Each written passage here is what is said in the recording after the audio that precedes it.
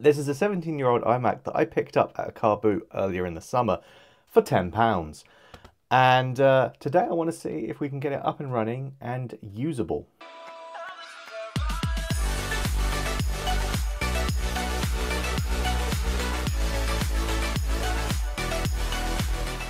So it is currently naked. I do apologize for that. Um, the main issue with this, if you did see the video when I got it, it chimed, it booted up, but there was no display out. So I've been taking it apart to take a look at that. Uh, it is also very heavy, so I'm going to save its modesty and pop it down. So as I say, I picked it up for £10 with very little hope that it was actually going to work.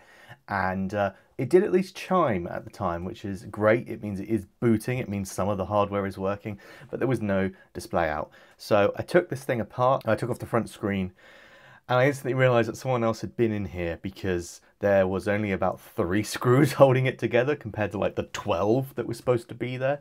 So that wasn't a great sign, um, but opened her up and had a look under the screen to discover that A, the hard drive had been removed, which is good. If you're going to sell old tech, make sure that you wipe it thoroughly or destroy the hard drive if all else fails. But also, probably the person that went in and did that, uh, they actually forgot to reconnect the display to its power. So that would be why we didn't get any display out. And thankfully, just plugging it back in, we got display out, it booted absolutely fine. Of course, no hard drive, it didn't boot to anything, just the bootloader, but it works, which is very, very cool. So I'm going to throw in a cheap SSD. This was a 480 gig SSD for less than 30 pounds. This is your reminder that if you currently have any computers that take a SATA drive um, and it hasn't already got an SSD, give it an SSD. It will really help performance and they're so cheap now that uh, unless you really need massive bulk storage, this is the way to go. Get an SSD. So we're going to get that installed and then we're going to get Xubuntu installed on this. I think a nice lightweight Linux distribution should really help performance. And we're going to check it out and see if any of it uh, is still functional, see what we could use this machine for. And as a reminder, if you do enjoy watching old tech be saved from the landfill and repurposed, please do hit that subscribe button. We're still a very, very small channel Every single subscription helps.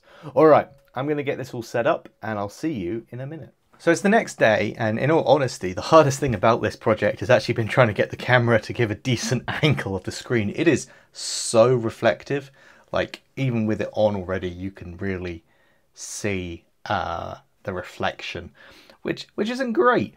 But uh, here we are. It's back in its uh, housing. It's all covered up, um, and install process as smooth as it could be, really. Put the SSD in there. Uh, of course, did every effort to secure it with some duct tape.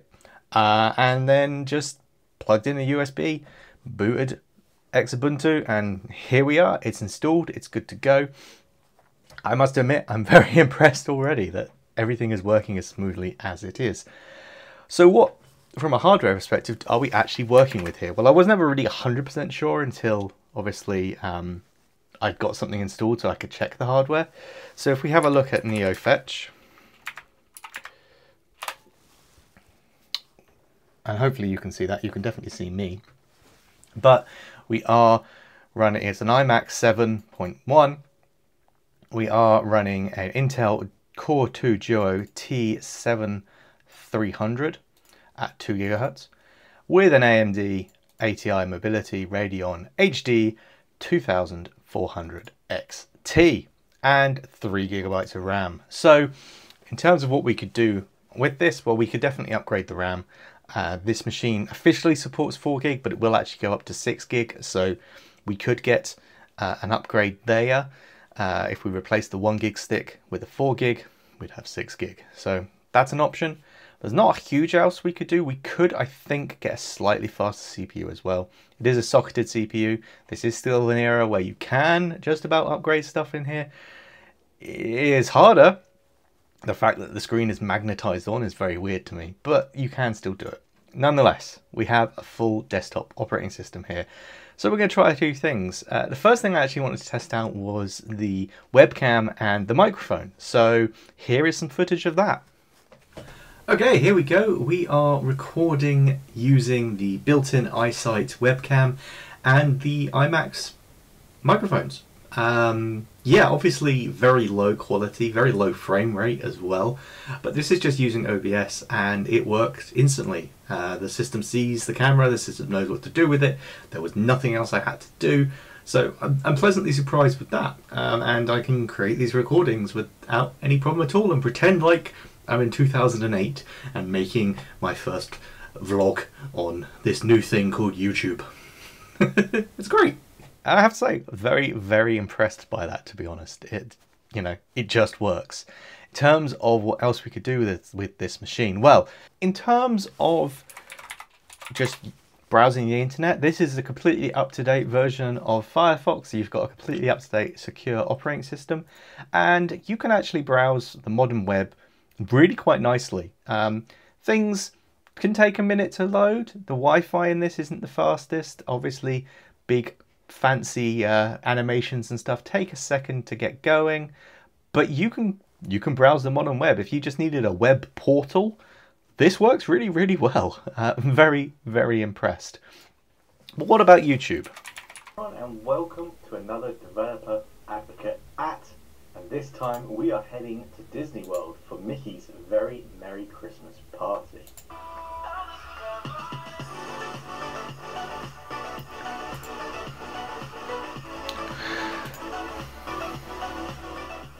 For those that are new to the channel, uh, the Developer Advocate at series is basically a series of videos.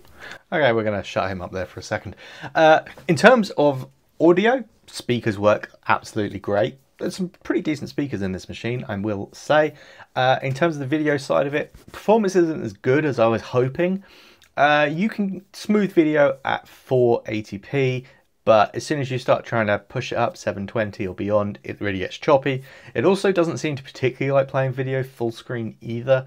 Um, I'm not quite sure what's going on there, but it's definitely not the best experience, that's for sure. I would definitely rather be playing local files um, or, you know, you could get away with low resolution YouTube. That, you know, it's still possible, it's just not as performant as I'd hope. Of course, next up, this is a Mac, famously terrible at gaming. So uh, we're going to try and do some gaming and see how that works. Well, here we go. We have uh, Minecraft, brand new, latest release, 1.21 Minecraft running on here. And you know what? With a little bit of tweaking, we've got it fairly smooth. We are hitting around between 20 and 30 frames per second. It does stutter sometimes, mainly when it's loading new chunks in.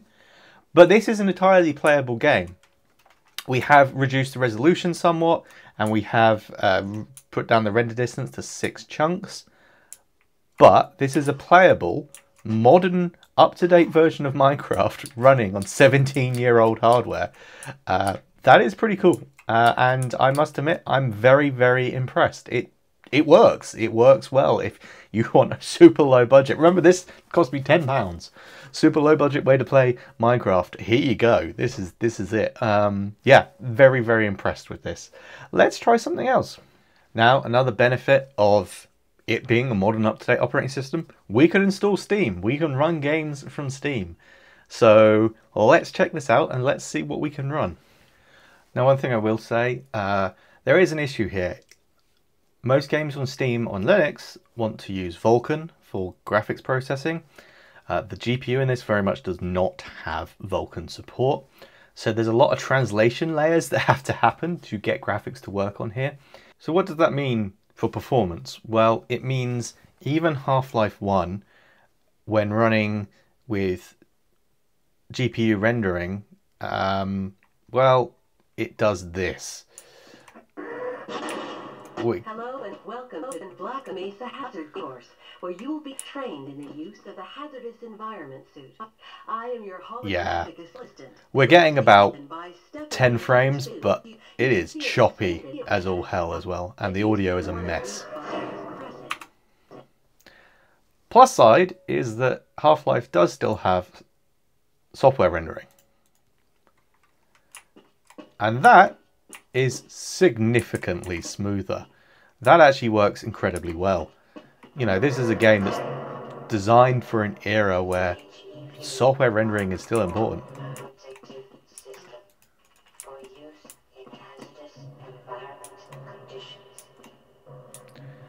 Of course, we lose the on-screen CPU rendering.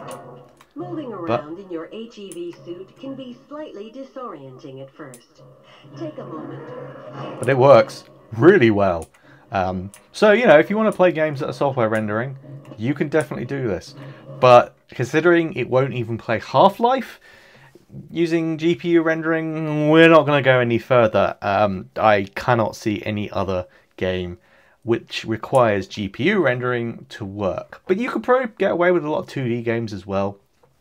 And like I say, a lot of old 90s games that have software rendering options. That's going to work too. Um, and actually, it's a very playable experience. You could definitely play Half Life and play through Half Life on this if that was what you were looking to do.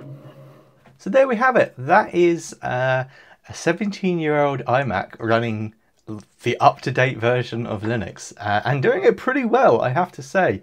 Sure, it's not going to blow away with multitasking or anything like that, but if you've got some very simple basic needs for computing, it's a very beautiful machine to be using as a basic computer. The screen itself as well is gorgeous. Uh, I might have to look at trying to repurpose this machine as a second display or something because it really is very nice. Um, if you have any other ideas of what we could use this old machine for, please do comment down below. Um, obviously, we could try installing macOS back on it. I believe 10.11 is the newest version that will run, so it's not so old. Um, things will probably still function, but uh, I just quite like running Linux on these old machines because it really does push them to their limits, um, and I'm very impressed. All right, Thank you very much for watching. We're going to wrap it up there for today. If you have enjoyed this video, please do hit that like button and subscribe. And I will see you again very, very soon. Bye for now.